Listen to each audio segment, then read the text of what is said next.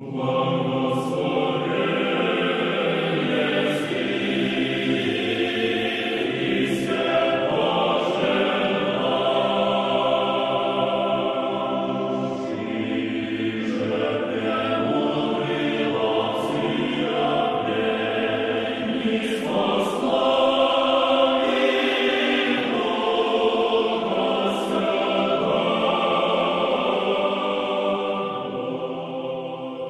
Божьей милостью, дорогие братья и сестры, мы с вами провели дни Святой Пасхи, были вместе с Господом на горе Вознесения, Елеон, и услышали слова напутствия, которые Господь сказал, а вместе с тем просил, не отлучиться никогда нам от храма.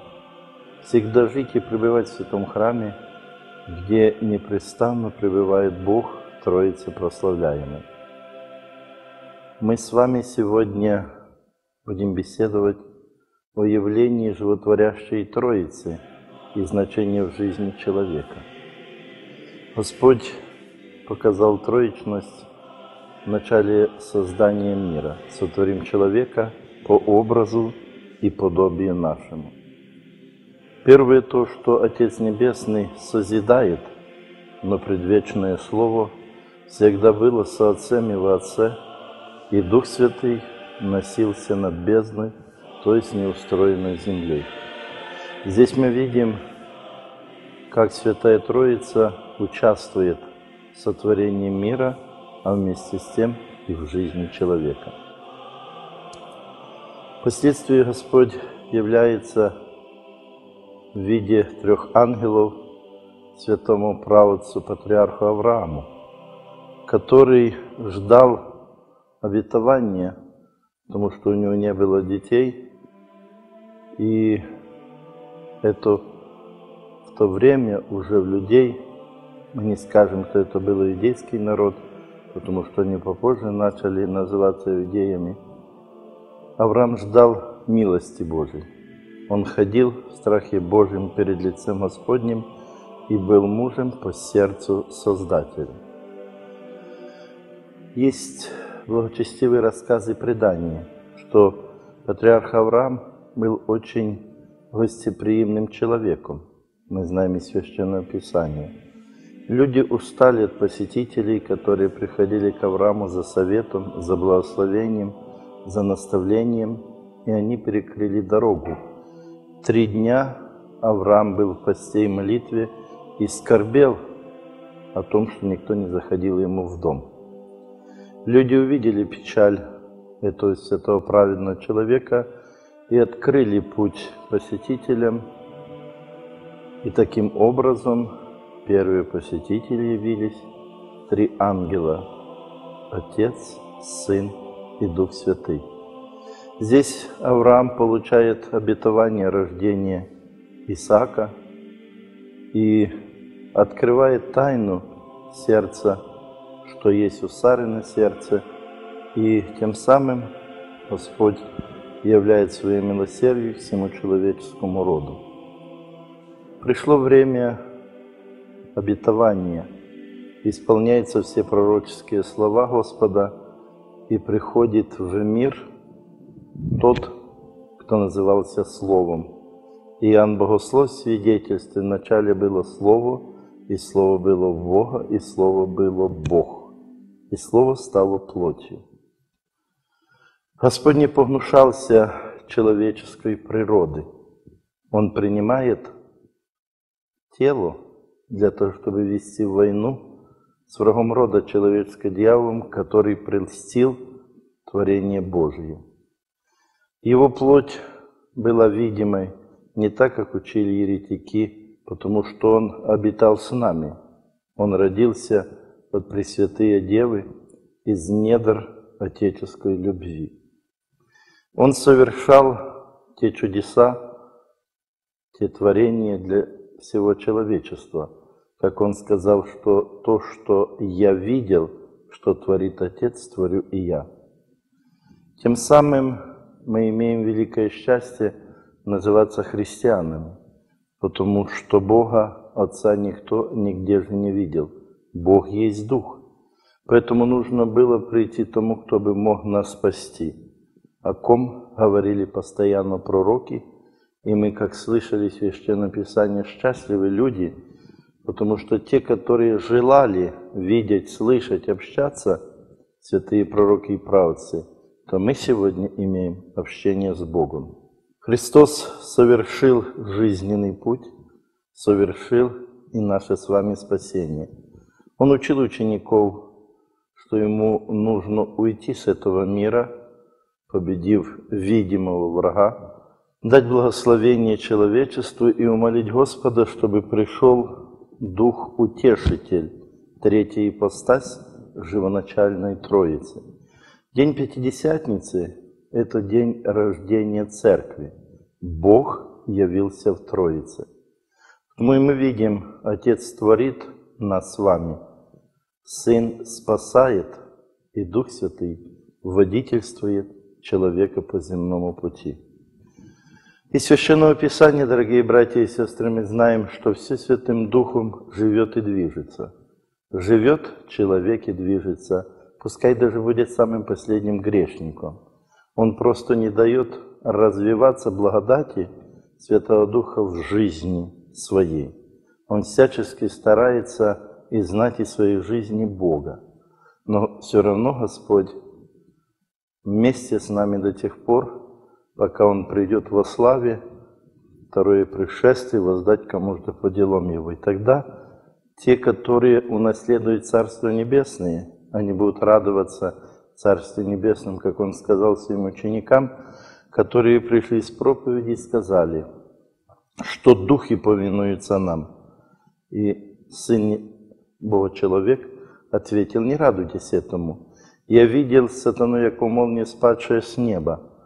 И он искушает здесь на земле всех живущих людей. Но вы радуетесь больше тому, что ваши имена написаны в книге вечной радостной жизни. Те, кто не веровал в Иисуса Христа, не признавал Бога, не признавал Живоначальной Троицы, они отойдут в муку вечную, где будет плач и скрежет зубов. Сегодня мы живем в очень сложном мире, в мире лукавства и злобы – и христианин должен приготовить душу свою для всякого рода испытаний и искушений. Потому что Священное Писание говорит, если дружба с миром, вражда с Богом. Когда ты дружишь с миром, нет общения с Богом, потому что Господь не пребывает с теми людьми, которые творили и творят беззаконие, где лицемерие, обман, воровство, убийство, где брат на брата поднимает руку. Но Христос, Спаситель мира, сказал, что Он пришел исполнить всякую правду, исполнить волю Божию. И Он совершает то, что видел, как творит и творил Его Отец. Что же творил Отец Небесный? Он сотворил невидимый мир ангельский. Он был видимый, по-видимому, для еще до грехопадения Адама и Евы – Слово Божие видело, как Господь Отец Небесный сотворил Адама и Еву. Слово Божье было свидетелем, когда Отец вместе с Адамом нарекали имена живой природе, которая явилась для нас с вами служителями божественной славы. Рождение церкви, как и рождение человека, имеет особое значение в жизни нашей. Блаженный Августин говорит, что Церковь Христовой, как в великой сокровищнице, заложены все дары благодати Святого Духа. Здесь самое главное есть у нас – это таинство крещения, которое соединяет нас с Богом, которое разрушает узы, стену преграды, и мы становимся после крещения, как первозданный Адам. Но смерть еще на некоторое время имеет над нами силу. Мы засыпаем сном времени и просыпаемся для того, чтобы получить награду за маленькие труды жизни в церкви и быть сыном Царства Небесного. Мы с вами видим, как в церкви есть И второе покаяние, второе крещение.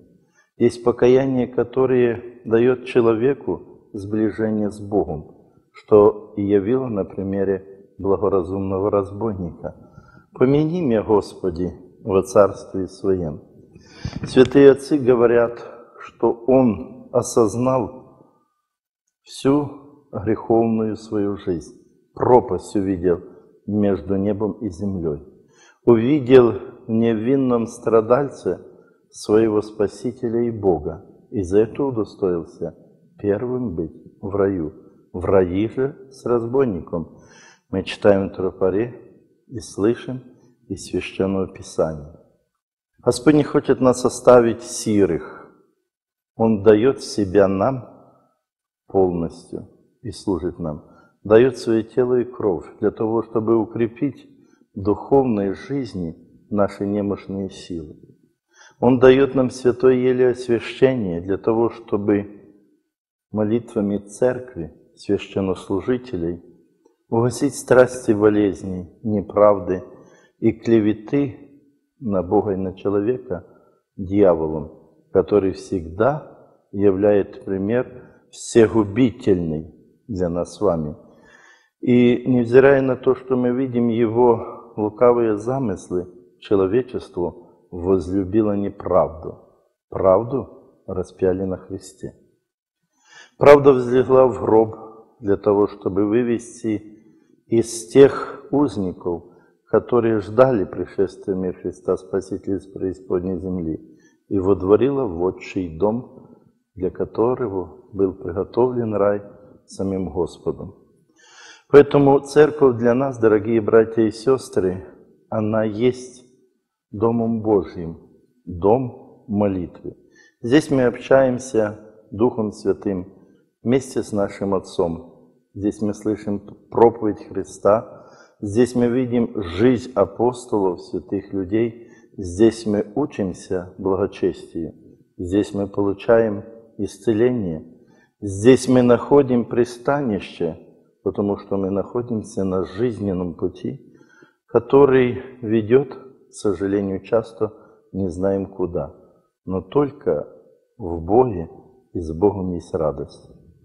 Мы находимся с вами в храме Живоначальной Троицы Киево-Печерской лавры, которая была создана в XII веке. Она сохранилась для нас как маяк в этой жизни. Она отбивает дни нашей жизни, учит нас, потому что здесь мы видим живопись, росписи те события, которые были и есть в Церкви Христовой. Мы только должны перед каждым изображением стать и вдуматься, потому что каждый праздник – это есть обновление человеческой природы. Каждый праздник есть общение с Богом. И мы, дорогие братья и сестры, должны исполниться все благодати Святого Духа. Стяжи смирение – только на кроткую и смиренного Господь презирает, о чем свидетельствует жизнь Божьей Матери.